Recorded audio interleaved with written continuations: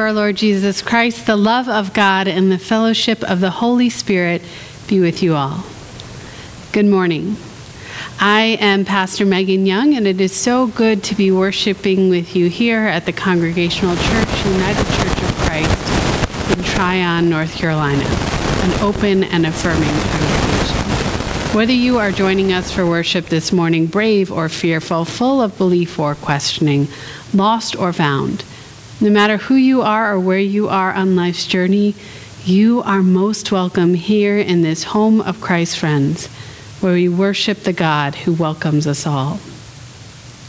We are so glad to be worshiping together, and we invite you to let us know that you're worshiping with us. Say hi in the chat box or send us an email because we'd love to connect with you. And if you know of someone who could use a message of love and hope and justice on this day, we invite you to share this morning's worship with them. Like our Facebook page, subscribe to our YouTube channel. Help us form and build community because it is together that we work and co labor for the beloved community of God, working for love and justice, trusting in the Holy Spirit's guidance. And so let us worship in a way that will continue far beyond this day and these walls. Let us remember to be the church. Protect the environment, care for the poor, forgive often, reject racism, fight for the powerless, share earthly and spiritual resources, embrace diversity, love God, and enjoy this life. And now let us pray together our call to worship.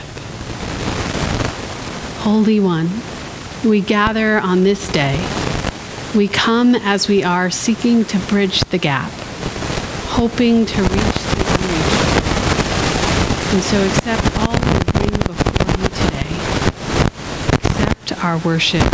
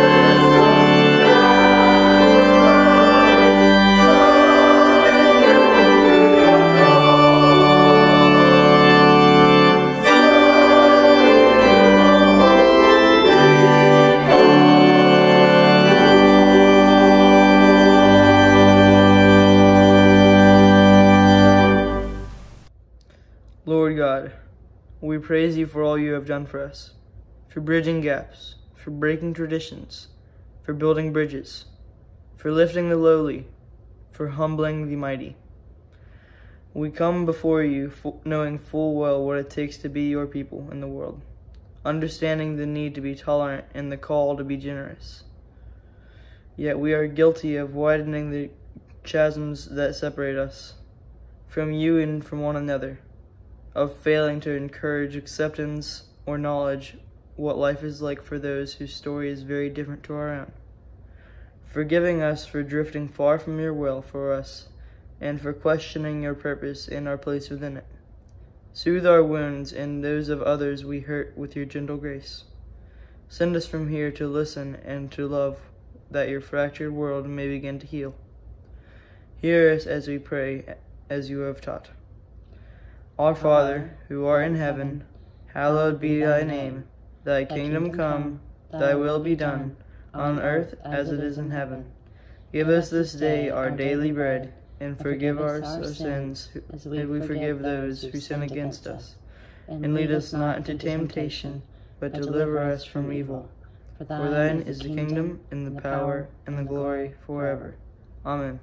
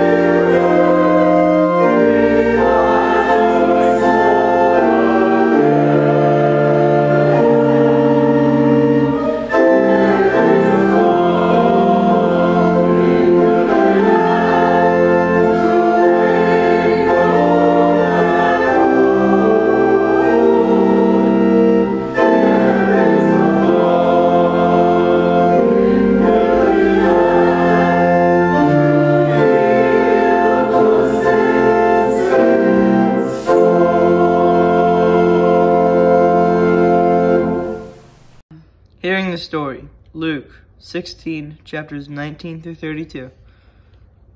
The parables of Jesus, as told in Luke's gospel, are familiar stories told over and over again because we still need to hear them. So listen closely, and then listen to some stories from our church members and friends. We are inviting folks to share their stories throughout Lent, so sign up if you have a story to share. This morning we will hear the parable of the rich man and Lazarus and reflect our, on our stories of upending perspective changing, and approaching the truth. Now may the Spirit truth open to us the scriptures, speaking a holy word, meeting us in the living God. There was a certain rich man who clothed himself in purple and fine linen, and who feasted luxuriously every day. At his gate lay a certain poor man named Lazarus, who was covered with sores. Lazarus longed to eat the crumbs that fell from the rich man's table. Instead, the dogs would come and lick his sores. The poor man died and was carried by angels to Abraham's side. The rich man also died and was buried. While being tormented in the place of the dead, he looked up and saw Abraham at the distance with Lazarus by his side. He shouted, Father Abraham, have mercy on me. Send Lazarus to dip the tip of his finger in water and cool my tongue, because I'm suffering in this flame. But Abraham said, Child, remember that during your lifetime you received good things, whereas Lazarus received terrible things. Now Lazarus is being comforted, and you are in great pain. Moreover, a great crevice has been fixed between us and you. Those who wish to cross over from here to you cannot. Neither can anyone cross from there to us. The rich man said, Then I beg you, Father, send Lazarus to my father's house. I have five brothers. He needs to warn them so they don't come to this place of agony. Of agony. Abraham replied, They have Moses and the prophets. They must listen to them.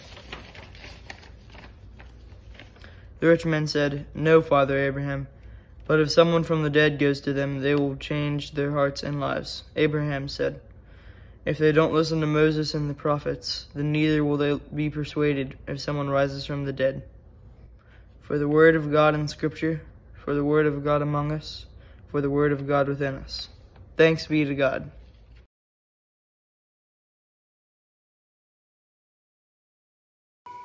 Good morning and greetings from Malang, East Java, Indonesia. My name is Charlotte Blackburn and I was a member of Tryon Congregational when I was a young person.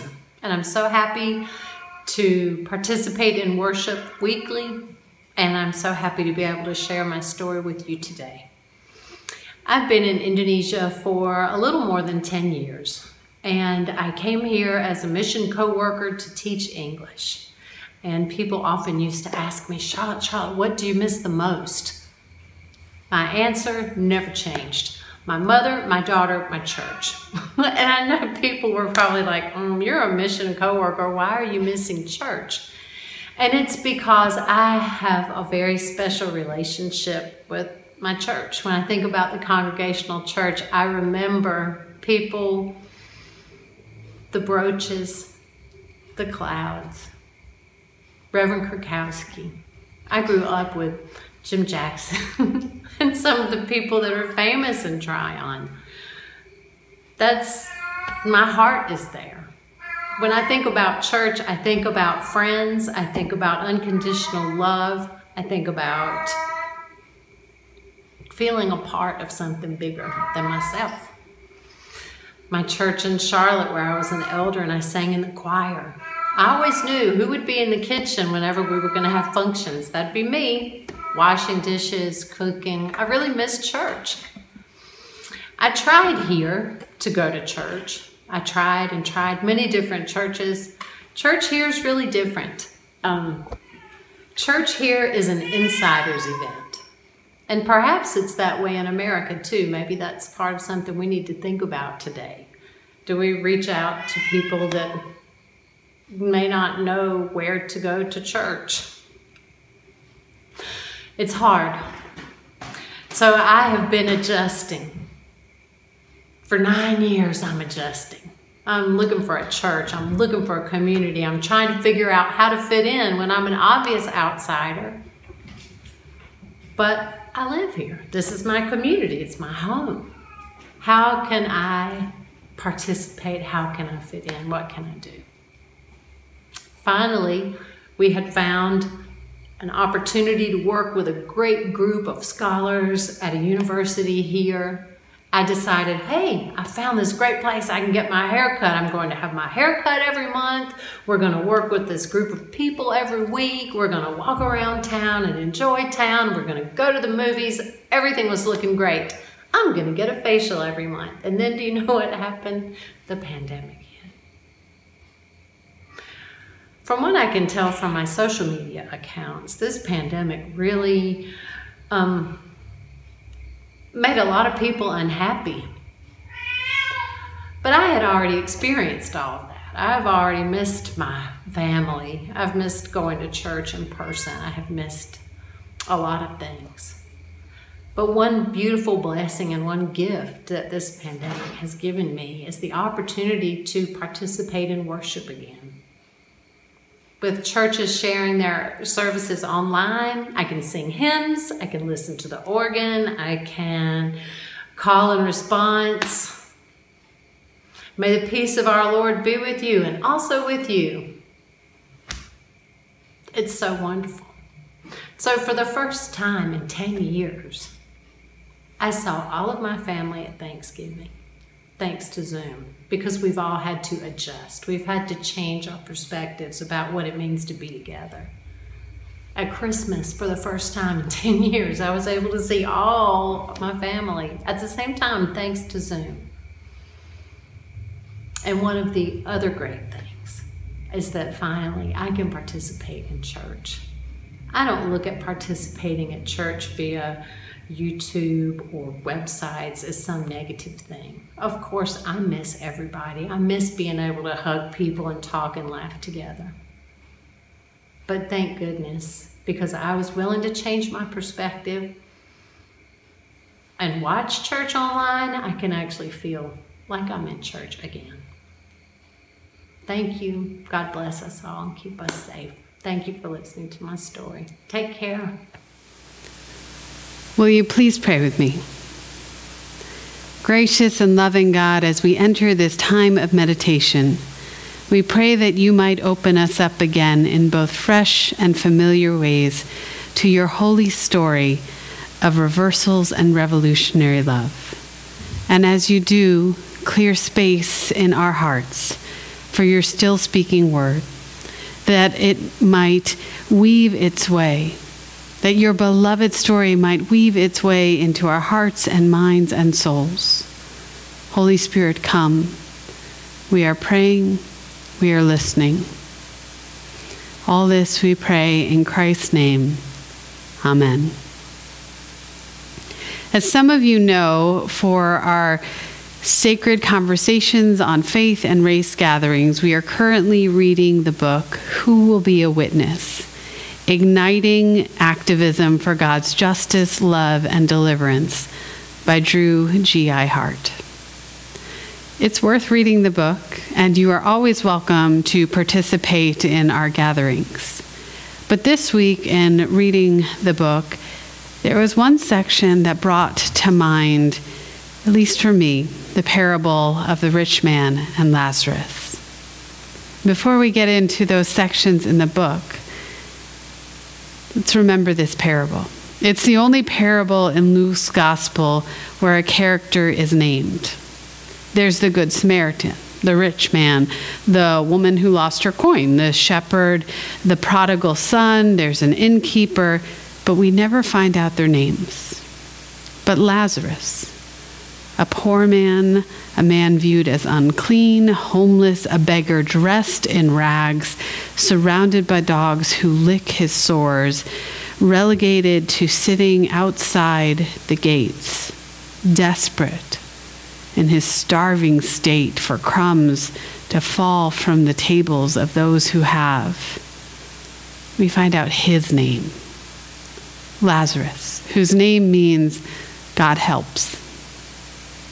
Lazarus, who, when he dies, doesn't even get a burial. It says, in the absence of a burial, the angels came and carried him to Abraham's side. And then, in contrast, we have the rich man. He's doing everything right. Roman law codified who was permitted to wear purple clothing because purple was a very expensive dye at the time. And this rich, rich man is dressed in purple and fine linen. He is respected, he is honored, he is important by, his, by the standards of his community and the Roman Empire. He lives in luxury, protected behind gates. And when he dies, his position in life affords him the honor and respect of a burial. These two men, Lazarus and the rich man, they are in such proximity to each other, but worlds apart. And it begs the question from us who are we failing to see on the other side of the gate? Who are we failing to see that is in proximity to us? Who is our neighbor that we are overlooking? So, this parable, Jesus is teaching it as part of a series of teachings on the importance of the prophets and the law, the scriptures, and how we interpret them. Look to the scriptures. Look at what they are truly saying. Look at the big context of it all. Jesus says time and time again. The law and the prophets, they are firmer, more durable than both heaven and earth. Look to them. Now, the Pharisees, they are reading the Hebrew scriptures and they're looking at Deuteronomy 28, where they are seeing justification for their understanding of the prosperity gospel. Obey God, and you will be blessed in war. Obey God, and you will be blessed in the marketplace, in the field, and at home. Prosperity is a clear sign of God's favor. Mammon and God are linked. That's their interpretation. The rich man, therefore, must be religious and faithful, favored by God in a way that Lazarus just definitely is not. But Jesus, in contrast, offers a different theological interpretation of wealth and poverty. Jesus separates out God and mammon. Wealth isn't bad, but it's not necessarily a sign that God has favored you. Wealth isn't bad, but love of money, making it a false idol, a means of self worth, well, that is bad. And so Jesus is looking at the whole of the scriptures and is coming away with an interpretation that alms and acts of charity out of their abundance that's, that's not enough. But rather, the system needs to be reversed. The system needs to be flipped on end so the Lazaruses of this world won't live in such terrible suffering. Jesus teaches his disciples to understand Moses, the prophets, the commandments, to look to the writings as a whole. And Luke's gospel makes it clear that for all disciples of Jesus, wherever some eat and others do not eat, there the kingdom of God just doesn't exist. But when we are looking towards the Lazaruses, well, that's when the kingdom building work starts. Plain and simple. Upend the world's notion be part of building the kingdom. So the rich man, he finds himself suffering in Hades or Sheol and sees Lazarus prospering by Abraham's side. Clearly, he recognizes Lazarus from all the times he stepped over him, not leaving crumbs at the gate to his house.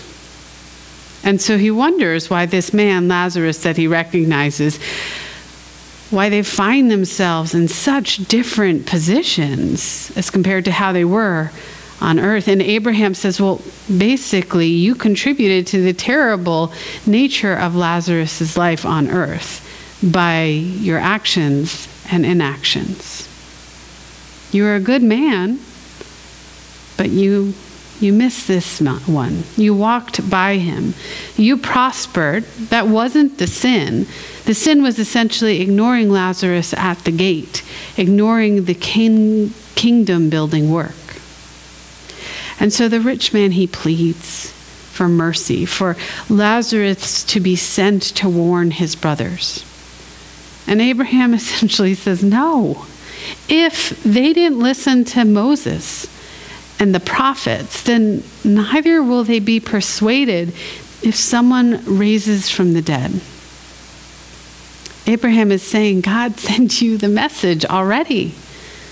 God has given you all the truth you need, all the help, all the prompts. It's there. So listen. You have a whole lifetime to listen, to try, to fail, to love, to imperfectly serve our God, to notice your neighbor. Because at the very least, something must be done on earth to help the hungry, the homeless, and the helpless. We have a societal responsibility. Now, in Drew G.I. Hart's book, he describes two experiences of worship as a black man at a mostly white Christian college. The first, John Dear, a Jesuit priest, comes to preach at his college's campus shortly after 9 11. Dear is moving from reflections on Jesus' teachings to considering the world of violence that we live in. He's talking about our country's military role in Latin America about protesting American nuclear weapons and about current wars of our nation. Hart remembers Dear going on about the president, the Iraq war, militarism, and the Christian ethic of peace, peacemaking, and nonviolence. Hart wrote that he leaned forward to hear Dear's message because he seemed to take Jesus so seriously. And that's when Drew Hart noticed something else happening. Hundreds of students engaged in a massive exodus of the chapel in protest of the sermon. Hart writes, I did not understand why such a dramatic response was needed at that moment. Could we not sit through chapel for 30 minutes with someone speaking to us, regardless of whether we agreed with them? Was this really the ultimate test of one's Christian faith? Was this moment the point at which one take, must take their stand? Was challenging us to love our enemies and put away vengeance, to be peacemakers and practice nonviolence, really so offensive that it could not be considered or tolerated. I had to grapple with Dear's challenge because it was rooted in the life of Jesus, to whom I had committed my life.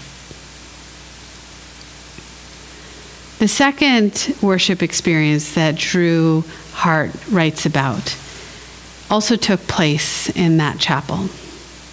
This particular service was called Culture Shock and was led and planned by students of color. It was a diverse, multicultural space where black leadership was centralized. On one occasion, a black pastor preached a sermon. It was not a cute racial reconciliation talk or a multicultural feel good church talk.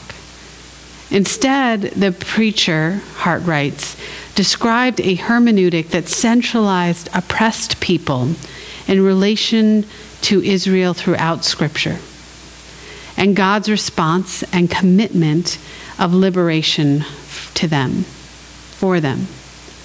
Then drew parallels with the American way seen over the last 400 years. For this preacher, the United States, including the Republican and Democratic parties, was racist. And white Christians were deeply complicit at every stage.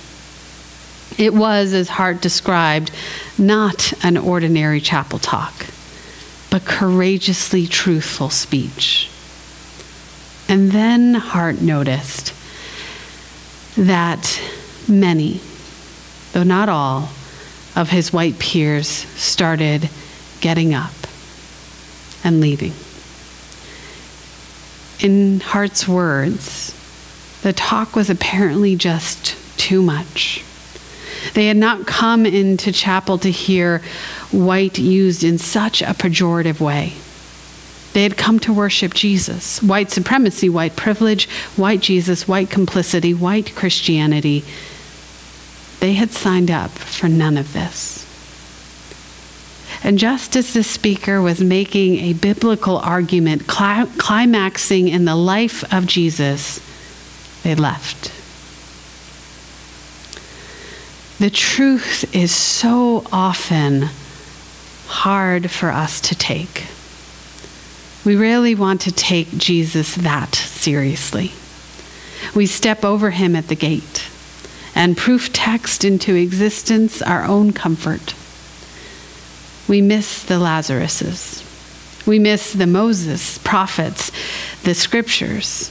We sidestep the truths that God has been delivering to us all along, even when they are hard to swallow, as Abraham tells the rich man. We walk out when it's not convenient, when the truth causes us to pause and reflect and change our perspective and brings about the realization that we might need to upend the way we are seeing things. There was a news clip this week of a famous TV presenter storming Offset after hours of spouting his opinion on in, in sometimes incendiary ways. And what caused him to storm off was his colleague relatively calmly and somberly repeating and reflecting back to this presenter his actions of the last 24 hours, his words of the last 24 hours. It often seems that the truth is the thing that causes the most volatility, not the difference of opinion or practice, but our words and actions repeated back to us. The truths that have been there all along. That's the hardest thing to hear. There's a sculpture by Dennis Oppenheim called A Device to Root Out Evil. It's a metal sculpture of New, a New England style church flipped upside down with its steeple buried in the ground. The original name for the sculpture was Church, but apparently this was deemed too controversial. I'm not quite sure who thought a device to root out evil was a less controversial name. But it seems that this sculpture gathers controversy and has been relocated many times before it finally wound up in some park in Canada. Academically, I, I get the symbolism. I get why folks are offended or find it controversial.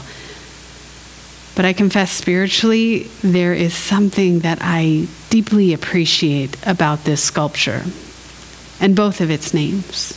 Because church, the church that takes Jesus so deeply seriously, the church that is rooted in the life of Jesus that draws our attention to Moses and the prophets and the law and the whole of Scripture. That kind of faith, it should flip us upside down. It should flip the church upside down to shake us up and reorient our perspective when we become complacent in systems that harm and hurt our neighbors, when we become complacent in systems of evil that overlook the Lazaruses of this world, the Lazaruses in our own lives. Church, our faith, the scriptures, it should upend us in beautiful, challenging, and life giving ways. Confronting truths, confronting what we have overlooked, that's hard work. But I pray that we might have the courage, with God's help and the Spirit's guidance, to change our perspective, to flip onto our head some days, to face what needs facing, and take Jesus so very seriously. So may you find some time this week to change the way that you're looking at things, to try on a new perspective and rediscover who God has called you to be in this work of kingdom building. Amen.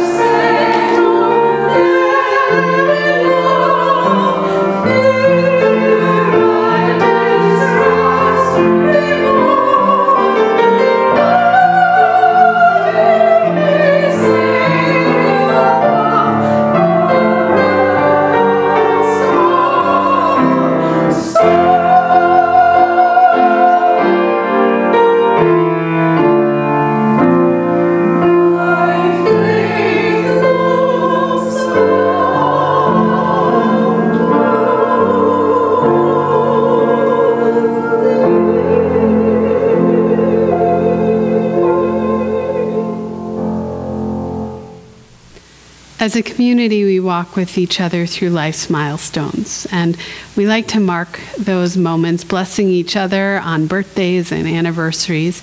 And so, first, if you have a birthday in this month of March, I invite you to receive this blessing. Let us pray.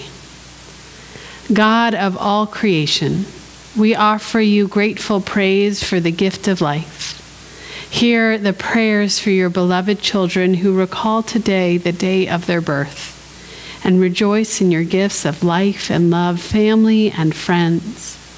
Bless each of them with your presence and surround them with your love that they may enjoy many happy years, all of them pleasing to you. We ask this through Christ our Savior. Amen. And if you are celebrating an anniversary of any kind in this month of March, we also invite you now to receive this blessing. Let us pray. Lord, we thank you for these couples and for all the years that they have had together. Today, as we celebrate their anniversaries, our prayer is that you will continue to bless them.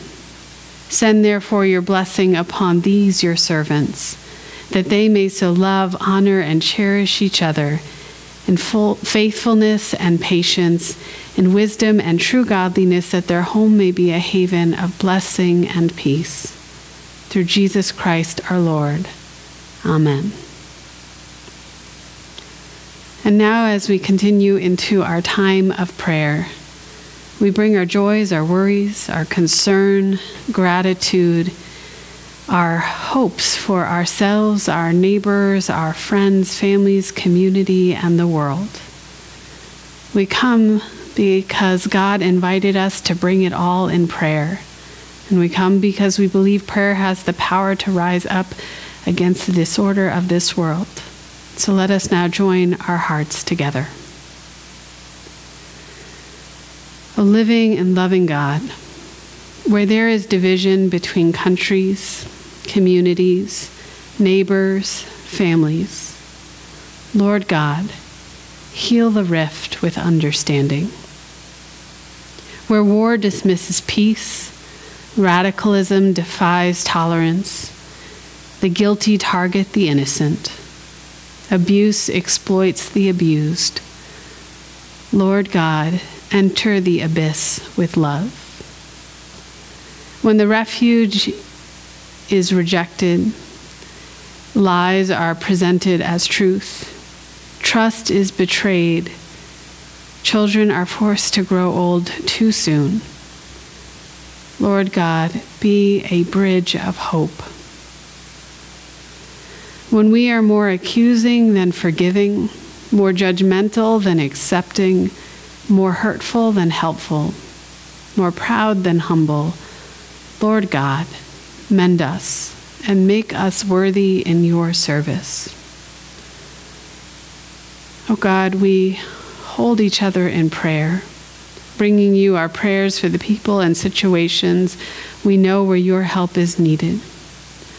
And so, with thanksgiving for all that you have done, we bring to you now, O oh God, our prayers that sit on our hearts and minds, our prayers for ourselves, our neighbors, and all of your creation.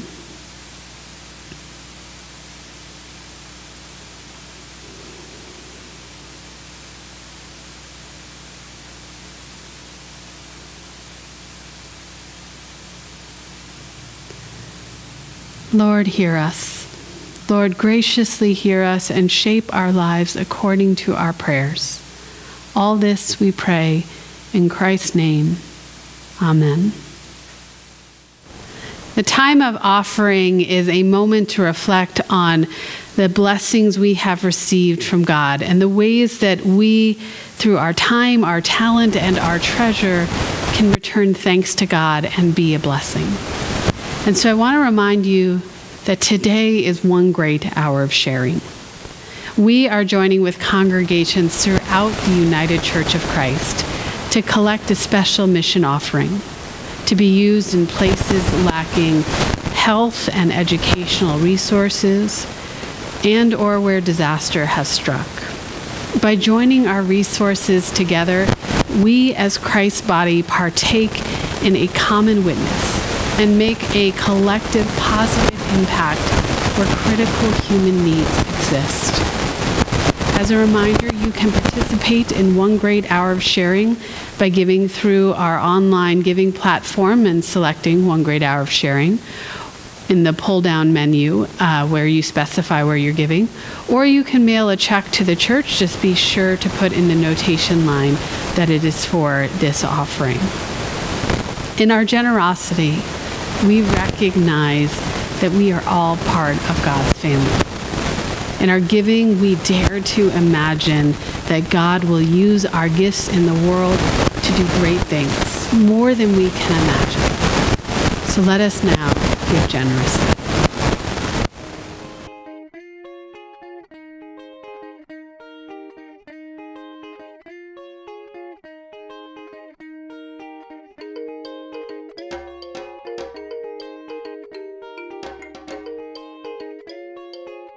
When it comes, everything changes.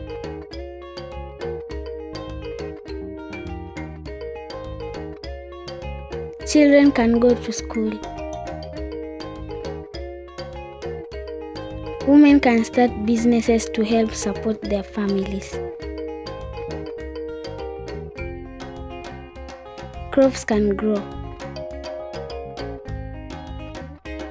Neighbors can take care of each other.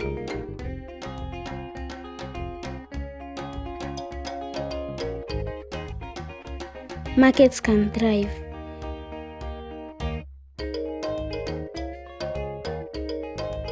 Families can be families. When water comes to a village, everything changes.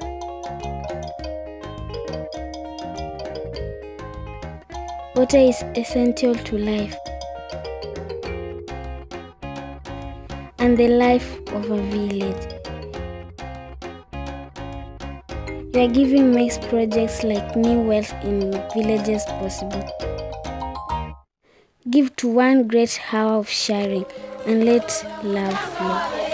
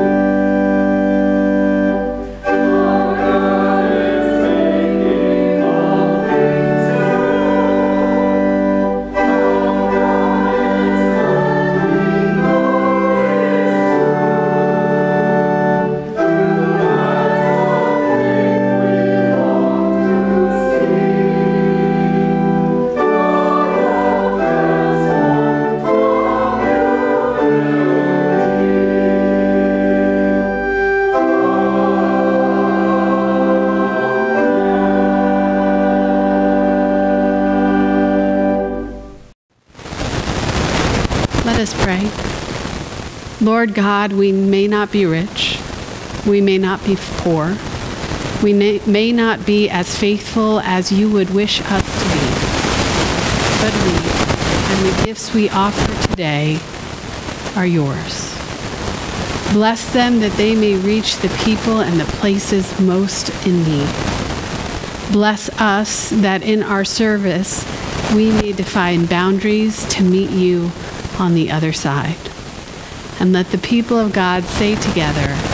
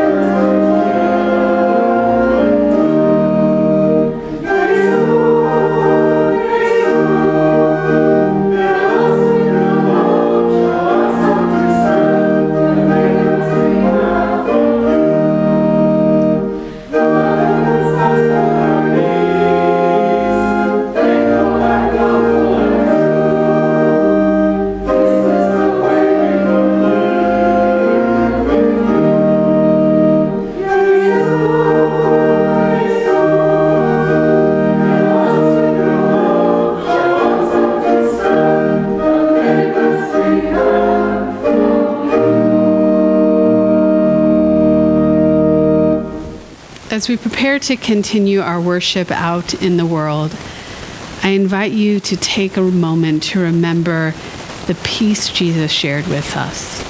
It isn't easy or half hearted or insignificant. It can pierce our most terrifying moments. It can transform strangers into friends. It is the peace that surpasses all understanding. So may that peace be with you and be shared by you in all that you do. May the peace of Christ be with you all.